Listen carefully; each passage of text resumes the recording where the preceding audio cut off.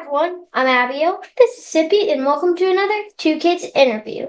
Today we are joined by the Newbery Medal winning author, Matt de la Peña. Some of Mr. de la Peña's books include the young adult books Mexican White Boy, The Living, The Hunted, and Superman Dawnbreaker. Some of his picture books include Love, Milo Imagines the World, The Perfect Place, and, of course, Meet Me at Mar- on Market Street. He also has a new picture book coming out in 2025 of March. Home. Thank you so much for being with us today. Well, it's a pleasure. Thanks for having me. You've been a part of a couple middle grade anthologies with some of the very best middle grade authors. You also wrote two of the eight books in the middle grade series, Infinity Ring. So we know you can write for middle graders. But every time you write a book that's completely original, you write it for either little kids or young adults. So are you wondering why that's the case or? Um, yeah, why not us? Yeah, okay. So this is such a, I'm so glad that you asked that question first because I've spent the past two years writing my very first independent original middle grade novel, and it was so much fun. And I think it comes out in 2025 at the end of the year. Um, not exactly sure what day it comes out, but so that's coming. Um, and it will be with Random House, uh, the same publisher that does my young adult novels. And it was so much fun to do middle grade. So I'm very excited about that coming out. Does it have a title yet? It does not. You know what? I have like 70 titles, but we haven't decided which one it will be. It's very hard to choose. It's such a big decision. Mm, yeah, that makes sense. Yeah. What's it about?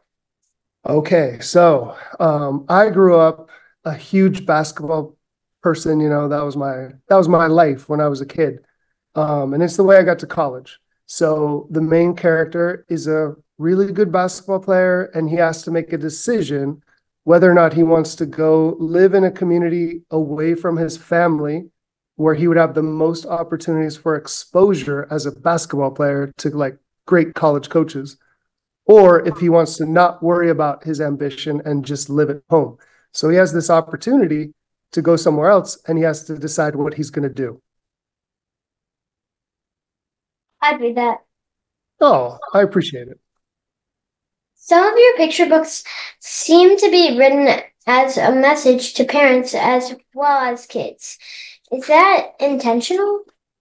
Well, it's that's a really good question. I have to tell you honestly, I hope my picture books don't feel like a message because I feel like if you're going to tell the story the best it can be told, you have to leave any message behind and you have to just follow the characters and make the best story. However, most writers have something that they're interested in um, with each story. And that is very important to them. So for me, you know, a book like Last Stop on Market Street, it's it's really me exploring what does it mean to live in a family where it's not just a traditional two-parent household. My character lives with his grandmother. Um, he also he he volunteers his time um, every Sunday after church and so I'm exploring what does it mean to have these selfish desires? Like you want to do this, you want to go play here, you'd rather not go to the homeless shelter to to pass out food. But um, he has a grandmother who's telling him how to see the world as beautiful. Um, and so that's me exploring that territory, but I hope the message isn't so loud that it's more important than the story. Because to me, at the end of the day, the characters and the story are the most important thing. You've worked with a lot of different illustrators. Can you tell us about how that works? And have you ever had a drawing in one of your books that made you discover something and go back and change any of the text? Wow, that's happened to me once. I was working uh, with an illustrator named Loren Long uh, on a book called Love and uh, he's actually the illustrator of my new book coming in uh, early 2025 called Home that you mentioned. But he and I usually have long conversations about the text, just the words, and we discuss, you know, what they might mean, where they came from for me as the writer. And then he has to figure out what pictures to put next to the words. And here's something interesting. The best illustrators, they don't just illustrate the words exactly. They tell a, a second story that sits next to the to the words. So what I love about picture books is you almost have two stories kind of going back and forth, weaving in and out of each other through the whole thing. So it's there's a lot of depth because of that. Well, one time in love, he showed me a sketch where I think the original text, if I can remember, is and in time you learn to recognize a love overlooked, a love that wakes at dawn and rides to work on the bus, a pair of old house slippers that fit like love. Well, his sketch, he had a, a brother, an older brother, come in and he was giving food to his little brother before he went to school. And I loved what he was doing so much that I took out that line about the house slippers and I changed it to a slice of burned toast that tastes like love because the older brother was giving him toast. So, yes, sometimes it's not very common, but sometimes an illustrator's picture makes me want to change the words. There's more representation in books now than there ever has been. Your books have been a part of that important trend. Is that something that has been important to you? Yeah, you know, I think the world is full of interesting people who are like us and different from us. And I hope my books are just like the real world, right? They're they're going to be uh, you're going to meet characters who are similar to you, but hopefully you're also going to meet characters who are different from you. One of the reasons I think reading is the ultimate form of empathy is because you get to sit next to a character and watch how they live and how they see the world and interact with different people. And guess what? If that person's different from you, you get to know them while you're sitting in your house or your classroom. So I love that. Um, I want to always populate my books with diversity. Now, obviously, when we think about diversity, we think of different races, right? But it mm-hmm. actually goes so far beyond that. It's also people who are growing up in different parts of the country. Like some people are in cities, some people are in on farms. Um, some people believe one thing politically and they're going to vote for this person. I think they should be in the book. But I also think people who believe the opposite should be in that same book. So diversity goes so far beyond race. In a picture book, how hard is it to get everything you want to say in it with so few words? Uh, that is an amazing question because you just hit the hardest part of writing a picture book. You don't get that many pages. When I write a novel, I can write 300 pages, right? And every page could be full of words. When I write a picture book, usually it's just a sentence or two on each page, and you only get like 40 pages. So you have to be precise. Um, so you have to cover a lot of ground, but you also want to tell a story that isn't so big, right? You want to find, see if this makes sense to you. At the end of a novel, I hope the character has changed a lot. You know, I think that's important, right? For a character to undergo change in the course of a novel. Well, in a picture book, I want the character to change too, but I, I see the change as like this little sliver of change. It's a little movement. Um, to me, that's enough for a picture book. But the last thing I'll say is this it takes me as long to write a picture book as it does a novel for one reason because every single word counts. You can't get even one word wrong, or at least wrong in your estimation, um, or it won't sound right. You know what I mean? So I have to get the story right, but I have to get the music of the words right too. And that's what takes so long. Writing a book is a big commitment. So when you come up with an idea, how do you become sure that this is the story you want to tell? Oh, that's a good question. So by the way, these are good questions. What's going on over there? You guys are having thinking some big thoughts over there. Um, so I think I always have new ideas even when I'm writing a book and I know I'm going to be writing this book for six more months, I still get ideas all the time. So sometimes I get a really cool idea and I, I get excited about it, but I know I have to finish the book I'm working on. So I will take a note on my computer and I'll spend one day just saying, hey, this story could be about this and this could happen and these characters are in the book. I can't write it now. Now I have to get back to the book I'm working on. But when I'm finished with it, I usually have like six or seven new ideas. And then I read through them and I figure out which one I'm most excited about. And then once you start writing it, it doesn't happen that every single time you pick the right one. You might get into it a couple months and realize, oh no, I don't think this story is quite strong enough to hold an entire novel. I'm going to have to like put this aside and start on one of the other five ideas. So, you know, sometimes you don't pick the right one, but most of the time, if you're excited about it, it's probably going to end up working. When you are part of an, an anthology like Hope Wins and Flying Lessons and other stories, do you have any interaction with the other authors, or do you just do your part with the with the editor? Mostly, you do your part separately from the other authors. However, especially in flying lessons, I'm friends with most of the other authors.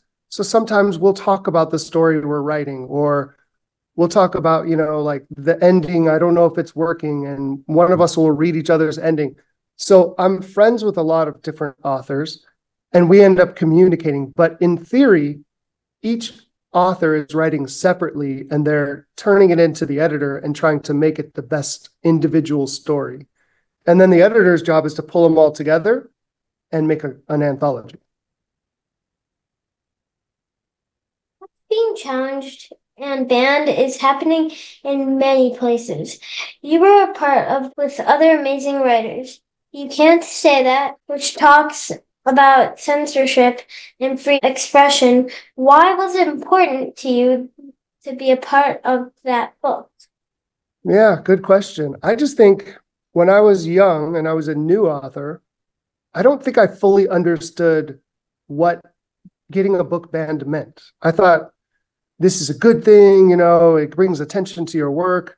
But then if you have this happen to you where a book is pulled out of a certain demographic's hands or somebody says that this book is inappropriate for for whatever reason you know you realize that the people you are most writing for they might not get to see the story that you're kind of writing for them um, so it's keeping important stories out of the hands of people who might need them most so that's the disappointing thing when it comes to censorship.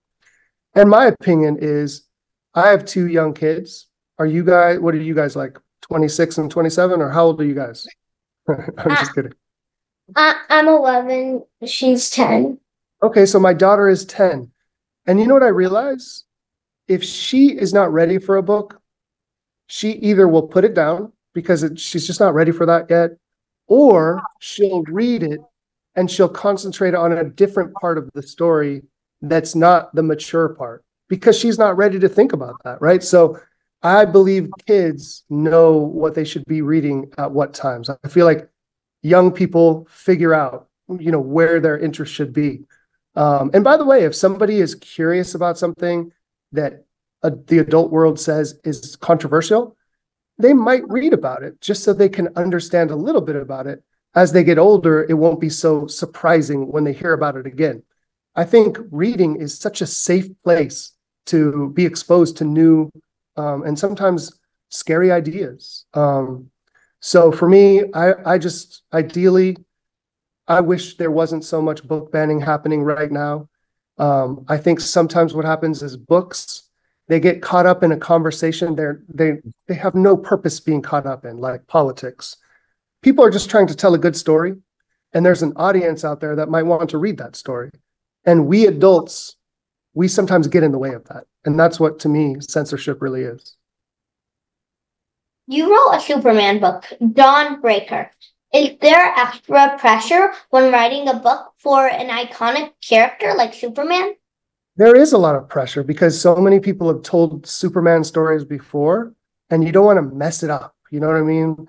Also, when you write a superhero like that, you have two editors. You have your book editor, and then you have uh, in my case, I had DC Comics, an editor from from that company, and they were both reading the manuscript. And here's the problem sometimes one of them would say, I really like this part on page 32. And then the other one would say, This part on page 32, we have to change. So I got different messages from both editors, and it was confusing. So that book was a hard process. I'm happy it's done now and I'm proud of the story, but it was a challenge. You talked about a number of pages in in in a picture book. Most Newbery Medal books are between 250 and 400 pages. Amy on Market Street has 32 pages. Can you tell us exactly where you were and your reaction when you figured out you won the Newbery Medal? Sure. Well, first of all, you make a great point. Most of the time, a Newbery Medal is for a middle grade novel, right? And these are longer books. That's why I never had any inclination that I would write a book that could win the Newbery because I wrote young adult novels, which are not eligible for the Newbery, and I wrote picture books, which I thought were not eligible for the Newbery. Um, and by the way, you know what somebody told me? They once told me your acceptance speech for the Newbery was longer than the book that won the Newbery, which is kind of funny, right? Um, I was in Minneapolis. I was doing some teaching there, and I got a call at like three in the morning, and they said, "Last stop, um, we, are awarding you the Newbery Medal for Last Stop on Market Street." And I was like, "Oh my gosh, I can't believe it!" And then I hung up, and I called my wife, and I said, I think Last Stop just won the Newbery. And she said, Are you sure? And I said, No, because I did I thought it was maybe a dream. Um, because I was so surprised. But then it was confirmed that it really happened. And it was the most shocking part of my entire career. And I will tell you this there are so many great books every year, and there are usually like maybe 50 that are really exceptional. And honestly, it's subjective which one is the best, right? There probably isn't a best book, but the committee that chooses the award, it could be, in the case of the Newbery, it's usually 13 people, or it could be just two people on a different committee, but it's that group of people deciding what they think is the best in that moment. So, you know, you just understand that part of it is just luck. What is your process when putting a young adult book together? Do you decide the end before the middle, or do you put it together in order? I have an idea what the end is, but every time I set out to write the book and I have my idea for what the ending is going to be, by the time I get to the ending, it always changes. So I'll tell you guys a great line. Um, this is a creative writing rule that I live by. Let's say you are writing a scene and it's in a room. Always leave a door open in that room because you never know who's going to walk into the room. In other words, you you're you have a plan, right? But you also have to be flexible enough that the story might change. And that might be good for the story. So you just follow that change. What writer have has had the most influence on you? I love this question. Um, first of all, there are incredible books for young people out there right now. Um, some of my favorite picture books, I'll tell you, are uh, Each Kindness by Jackie Woodson and Jackie Woodson is one of my favorite writers. She she just she also wrote a book called Brown Girl Dreaming that just turned 10 years old. Um, another picture book I love is called Watercress. That's an amazing picture book. I'm really inspired by some graphic novels like American Born Chinese by Gene Yang. Um, and then have you guys ever heard of a, a middle grade novel called Bud Not Buddy? It's yeah, by, I'm reading it right now in school. Oh my gosh, that book is so good. The voice is so good. So that's an incredible middle middle uh, grade novel. One other one I'll mention is Inside Out and Back Again by Thanhha mm-hmm. Lai.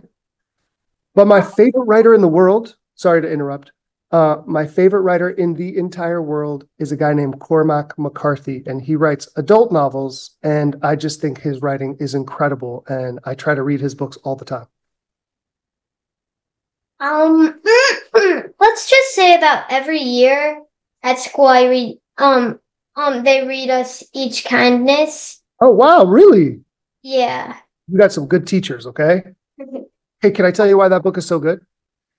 Most picture books, they end on oh. kind of a happy note or a really hopeful note. That's just the way most picture books end, right? Yeah. Each kindness ends on regret. So the character feels regret at the end. And I've never seen that before. So that's why it's so brave. Yeah, it's it's weird but awesome. Yeah, I agree. You've given us some advice already. What's your best piece of advice for young writers? Okay, so this is the the main thing I would say. First of all, read as many books as you can because all writers, we come from the stories that come before us, right? But one other thing I'll share. If you want to be a good writer, you should speak less and listen more.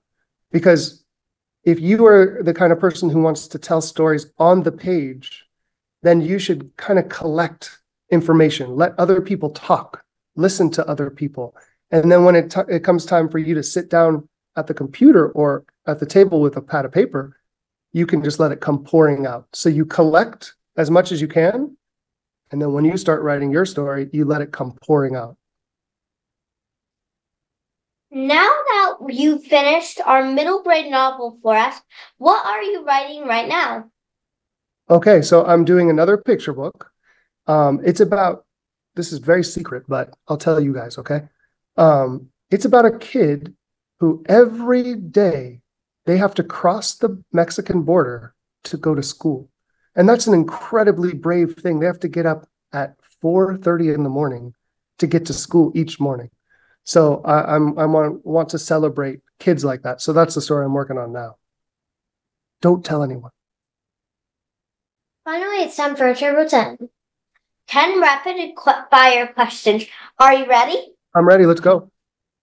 Number one, what is your favorite phrase to use? I'm going to finish this up. Please feel free. Okay, what is my favorite what? Phrase to use. Uh, my favorite word is grace. Uh, my favorite phrase, uh, let's go. That's mine. Oh, cool. Can we, by the way, can we do five rapid fires? Because I think I need to leave this classroom in a second. Okay. Okay. Number two, what is one subject you'd love to learn more about? History. Number three, what is your go-to snack food? Oh, uh, burritos. Number four, if you could have any three dinner guests, who would they be? Well, I'm going to say Cormac McCarthy because he's my favorite writer, Michael Jordan, and let's say Oprah Winfrey. Number five. What was the best piece of advice you were ever given? Hmm. Spread the tingle. Do you know what that means? If something good happens to you and you feel good, you want to spread it to other people. You were awesome. Thank you so much for doing that. Thank and you thank you so much for t- spending time with us. I can't wait to read your future book. Okay, bye guys. Bye. Bye. Thank you.